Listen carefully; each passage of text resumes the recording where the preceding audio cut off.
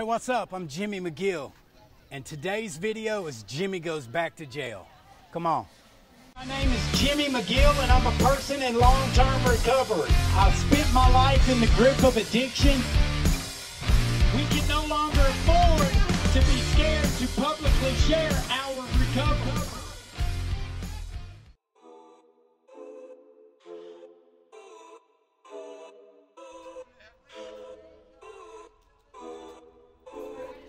This was my whole squad rider for four years. and uh, I had hair in. The last time I was housed in this jail, I went to prison from here. My bunk was at wall rack on this side bottom. Yeah. How y'all doing? That's the question. You, you guys want the good news or the bad news? Good news? Good news is this is the last time you ever got to do time. And I mean that. Now you want the bad news? You can't fucking go home today. That's it. But when we're done, we're done. I'm a person in long term recovery, right? Like, and so I get what you're going through right now. And this entire program was built by people like us, for people like us. That's what we did different. See, in long term recovery, I've had the, the privilege to get to meet people who have successfully re entered society.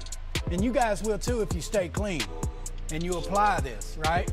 Like, I know for a fact, Fred, you're getting good information. But information without application doesn't mean anything.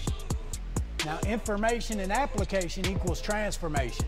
And I'm standing here in front of you as, as a proven fact of that transformation. I shot dope with half of you dudes. That's the truth.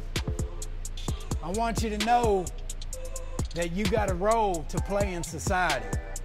This program was always about helping us find a new way to live without putting one in us. And it was about showing a broken system that this shit doesn't work. If you would have told me I was going home to become the first parolee to work for the office of the drug director, I'd have thought you had the best dope in the city. You own one. But we changed history, and we've got a chance to change it more with you. I want to encourage you guys to continue to do right, to keep seeking it out. Give yourself a break because you're worth it. You have no idea what life's going to look like when you come home, as long as you don't use.